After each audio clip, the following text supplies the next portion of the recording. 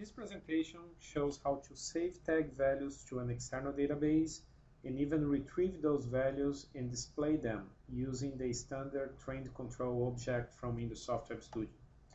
So first of all, I'm going to create a new database and it could be any database, but in this particular example, I will use the Microsoft SQL Server database.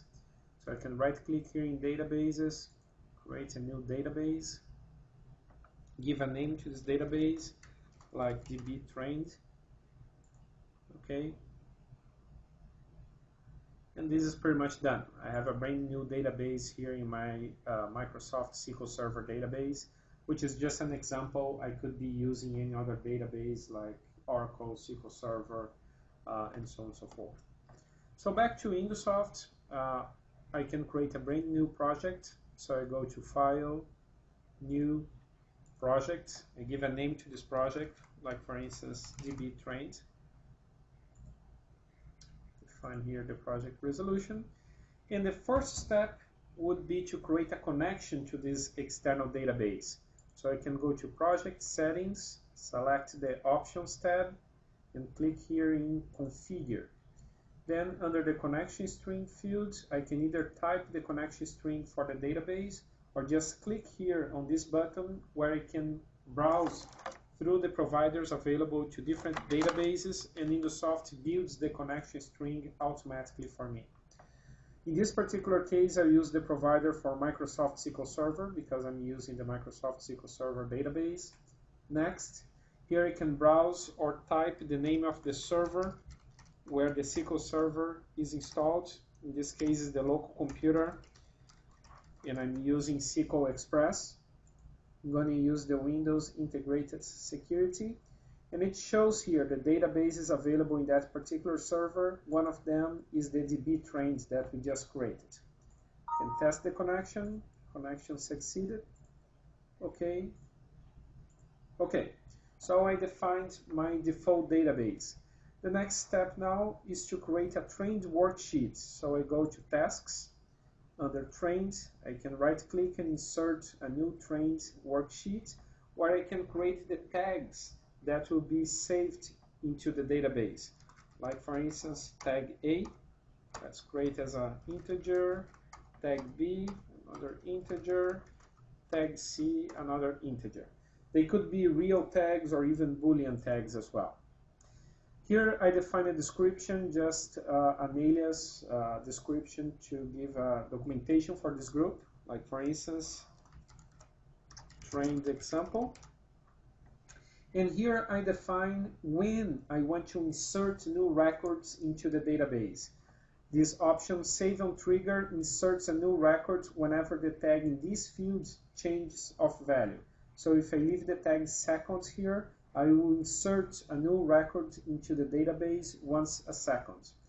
And I can also cl click this option here, Save on Tag Change, so whenever any tag from this group changes of value, the new, uh, the, the task will insert a new record in the database with the updated values.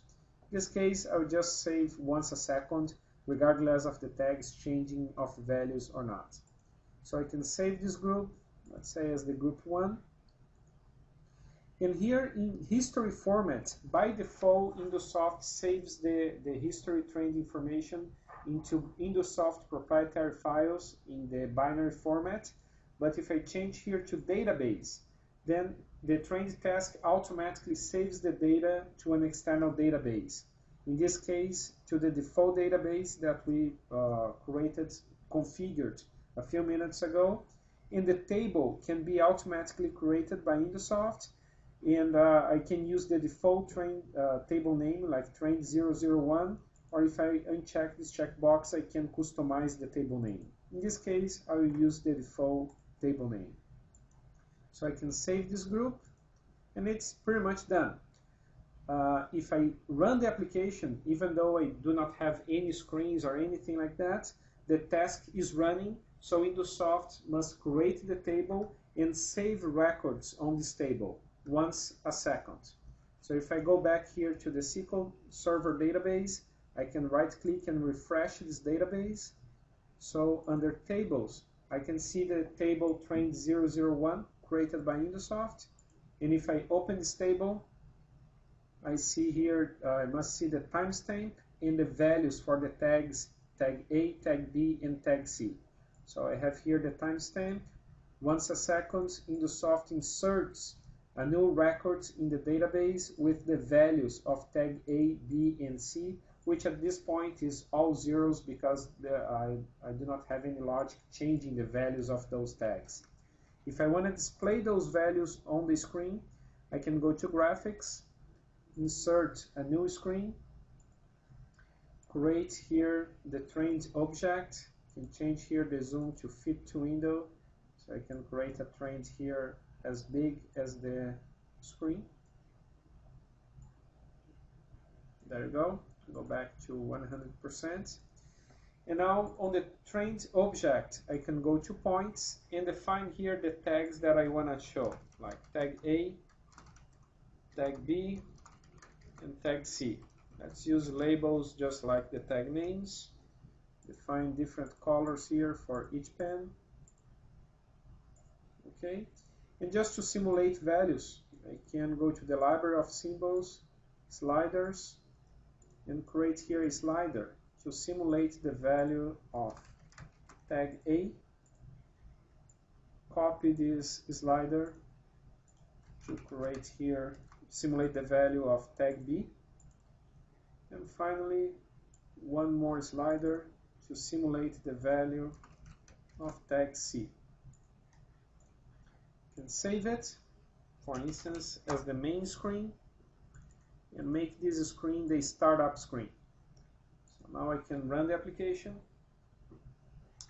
and I can simulate values for tag A, tag B, tag C, and supposedly those values are being saved into the database.